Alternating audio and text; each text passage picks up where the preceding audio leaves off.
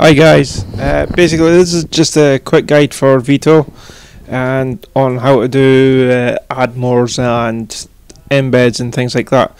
So yeah, first off, good job on this, you've done quite a good job here, yeah? Okay, you've got your image up and everything like that, and that's fine, yeah? Now, from there, we're going to the text editor.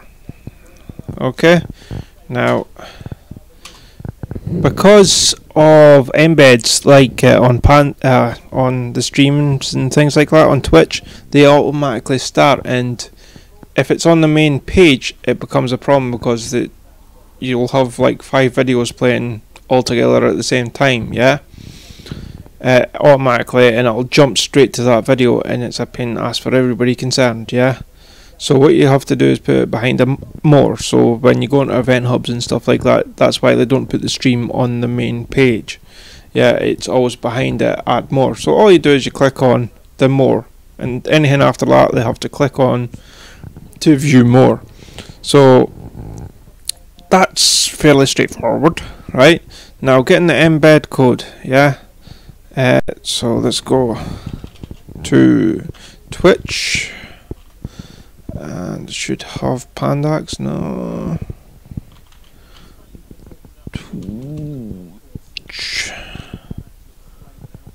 TV slash Pandax.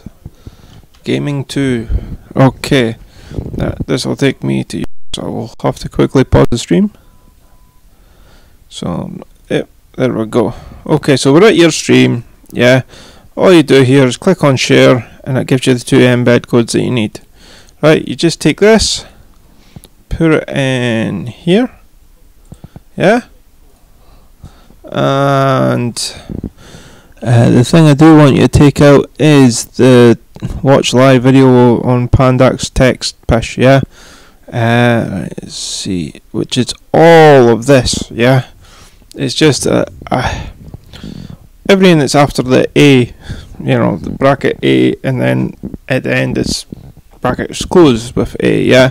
All that does is put a little link underneath the stream, it'll take you to direct to the thing. It's not really necessary, if you want to do it, you just double click on the window anyway, and it'll do that anyway, yeah, and it kind of adds a problem to the, the stream in general, yeah. Uh, the, the actual chat that I'm going to put here at the bottom. Okay so here's the chat here. Okay. Now we'll go cross back to the visual editor. Okay. And after the more which you'll see here's the stream. Yeah. So all we do is resize it slightly smaller. Well that one anyway now this one is the chat now the problem you see is I can't resize it diagonally without it taking it diagonally. Yeah, you know what I mean. So all I want to do is resize it small. Yeah, you take the size of this, which should come up here, uh, and the big number is obvious, obviously the width. Yeah, so what I want is around five six nine. Okay, so all I'll do is cross back to here. Here's the embed code for that. See where it says width 569 right? It's 200 it's going to 569 okay? So when I go back to the visual editor they're the same size and they fit roughly on a, on a screen yeah?